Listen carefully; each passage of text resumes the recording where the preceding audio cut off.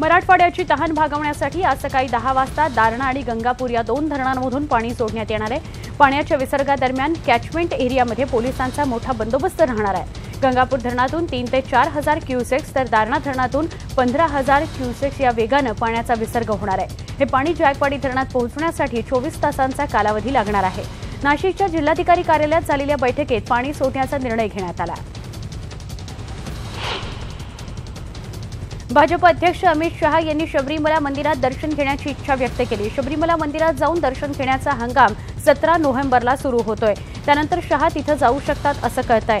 पण तारीख अजून कळलेली नाही असं केरळ भाजपचे नेते सांगतायत.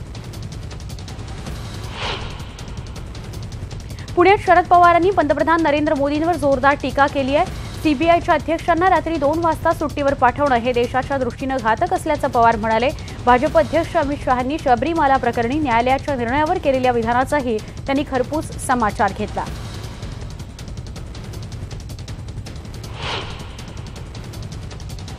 भारतीय जनता पार्टीचे अध्यक्ष त्या ठिकाणी गेले. अमित शहा त्यांचं नाव.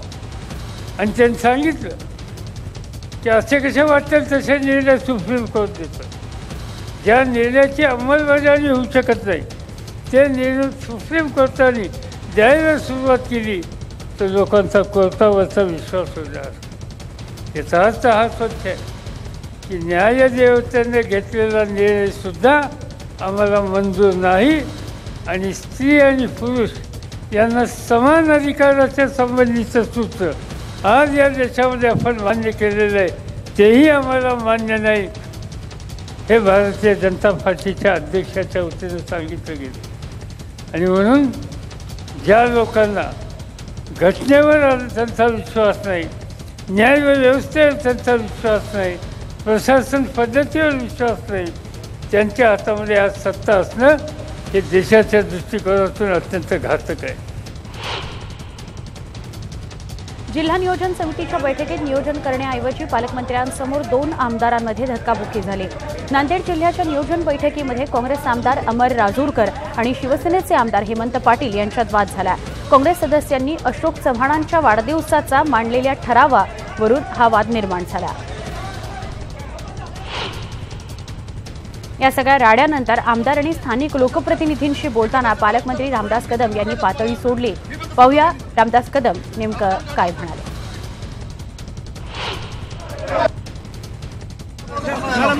मी गांडू बोलत नाहीये. लक्षात घ्या. जी पद्धत असेल त्याला उत्तर पण तसं देईन मी. बघायचं तुम्हाला मी पण तसं उत्तर देईन राजकारण करायचं असेल तसं उत्तर मी पण देईन. चांगले पालकमंत्री असं ते पण मी. तुम्ही राजकारण करणार असाल माझ्या बाबतीमध्ये हा मी असं लक्षात घ्या.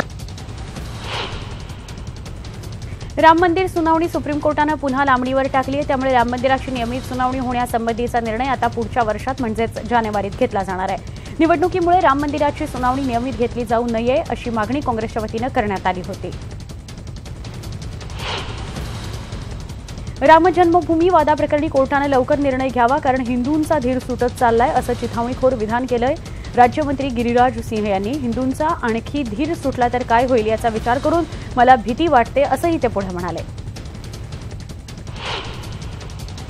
उज्जैनच्या सभेत राहुल गांधींनी मोदींवर सडकून टीका केली. शेतकरी व्यापारी जवानाला मोदींनी काय दिलं? व्यापाऱ्याच्या खिशातून मोदींनी पैसा काढून घेतला आणि केवळ दहा ते पंधरा उद्योगपतींच्या बाजूनं निर्णय घेतले असं राहुल गांधी म्हणाले.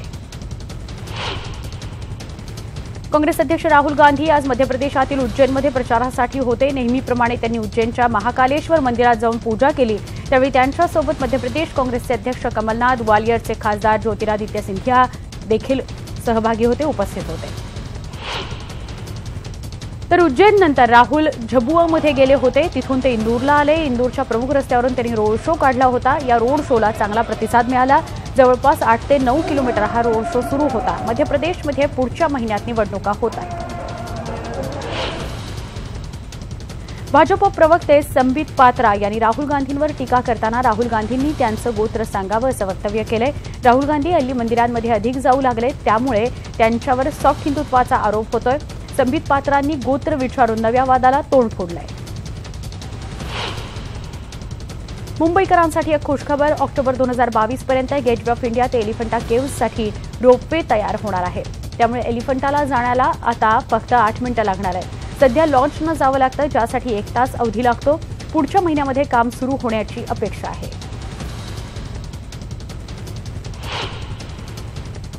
तेलंगणात पुढच्या महिन्यामध्ये निवडणुका होत आहेत आणि त्या पार्श्वभूमीवर पोलिसांनी आज एका गाडीतून एक कोटी वीस लाख रुपये रोकड जप्त केली. काल ही कारवाई करण्यात आली आहे. दोन जणांना अटक करण्यात आली आहे. हे पैसे निवडणुकीत वाटण्यात आले वाटण्यासाठी नेले जात होते का याचा पोलीस तपास करतायत.